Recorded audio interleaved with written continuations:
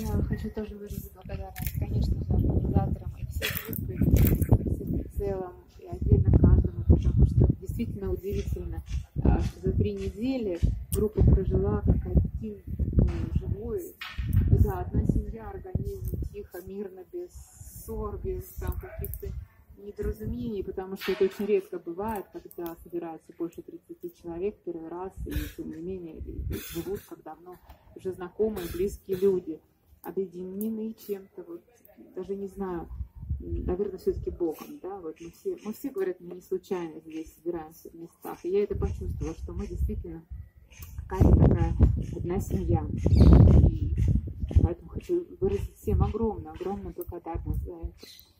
А, по поводу реализации, я понимаю, что пока я складывала все это в какую-то коробочку и осознание, понимание того, что мы здесь почувствовали, увидели, осознали, оно, осознание оно придет гораздо позже, уже дома, когда спокойно будут всплывать какие-то моменты.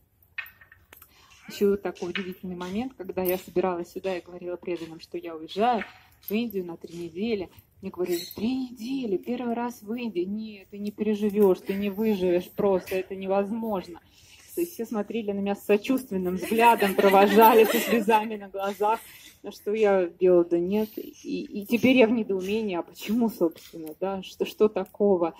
И опять-таки за это я хочу выразить благодарность всем вам, потому что э, вчера я только как, как уже уезжать три недели, и очень не хочется, честно говоря, и не верится. Спасибо.